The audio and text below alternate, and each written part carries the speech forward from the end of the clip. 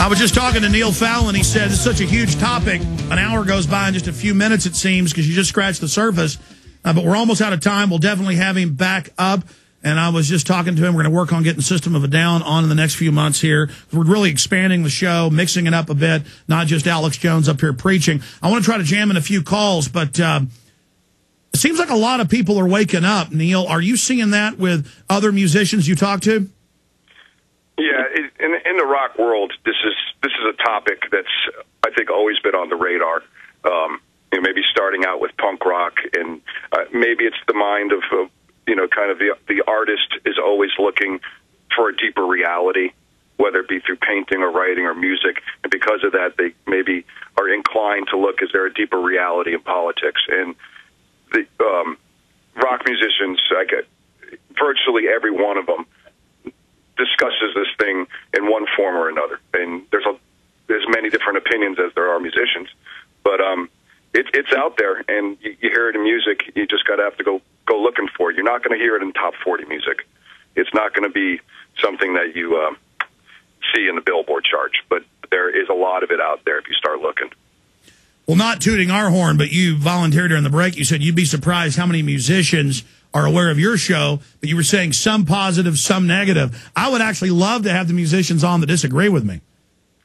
Um, yeah, that's good. You know, it, it's important to to have civil conversation. And if someone disagrees with me, I'm not going to get upset and take that as an, as an affront. I think you probably feel the same way. No, no, um, I find it more thought provoking. It's that's the only way you're going to learn. If you're always preaching to one's own choir, it gets real boring. And I, I've learned a lot from people that I thought I always disagreed with.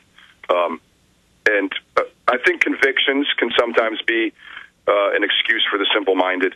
It, it's the more you learn, sometimes the less you know. You, you're always my opinions always change with the things that I include in life.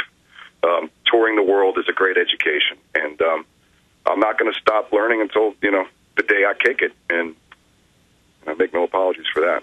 Let's take one or two more calls here with the lead singer of Clutch, Neil Fallon. Fire out your main website again. www.prorock.com. That's P-R-O-hyphen-R-O-C-K dot com. Can't forget that. We'll link it up at Infowars.com and PrisonPlanet.com. Oh, and before you leave us, I want to put you on hold. Give us a P.O. box or something. I want to ship you guys all the latest films and books and material, Neil, because we love what you're doing. Maybe some of it will make it in the song someday. Uh, let's go ahead and talk to Scott in California. Scott, you're on the air. Go ahead.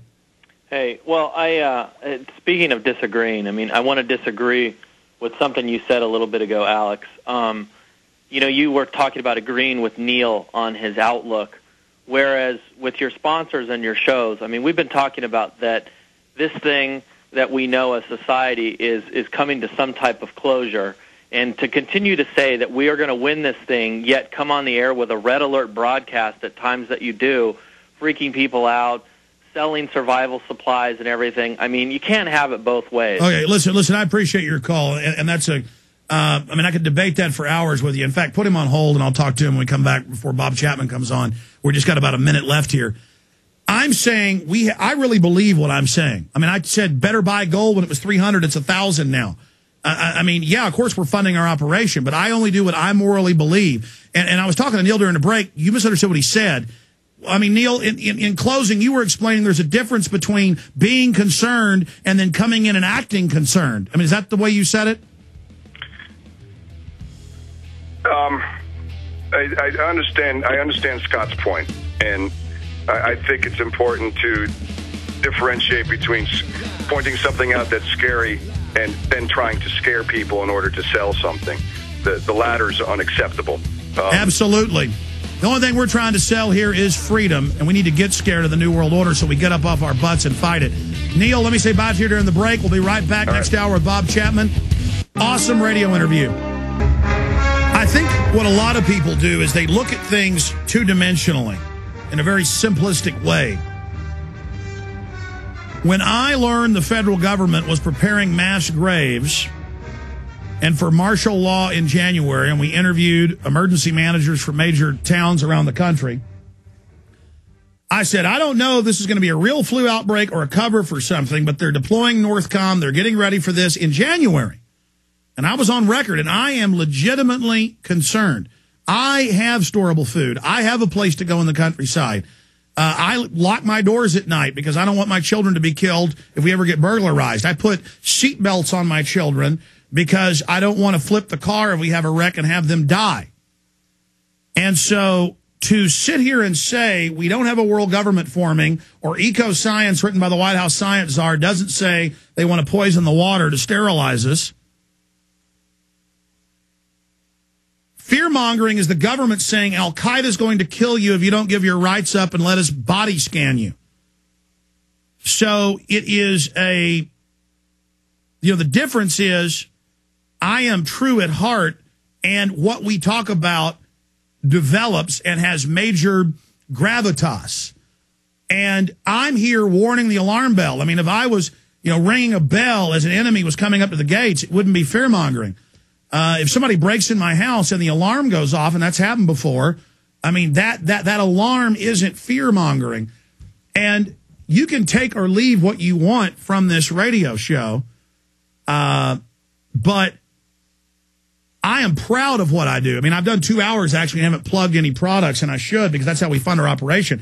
I'm proud of what we do. I believe the republic is falling, being conquered by a foreign corporate takeover, and I've busted my butt making a film and put it out on the internet for free. I hope people get the DVD to support us. It's in higher quality, or they get a prisonplanet.tv membership. We got five months free right now. That's how I support what we're doing. This is all very expensive. So get the DVDs, get the material at Infowars.com. I won't allow the PSYOP to work on me that I'm not supposed to fund what we're doing. We're not funded with your tax money or George Soros money. We're funded by people's support. And just like the founding fathers were funded by the colonist support. And so I'll now go to Scott in California. I had to cut him off because it was the end of the hour and our guest had to go. Scott, I think you're simplifying the message. When I come up here a few times a year and say, red alert, uh, you know, I got secret documents from upstate New York, which later came out in mainstream news, that they were saying, get ready for millions dead. And I said, I don't know what's going on with this, but this is a red alert.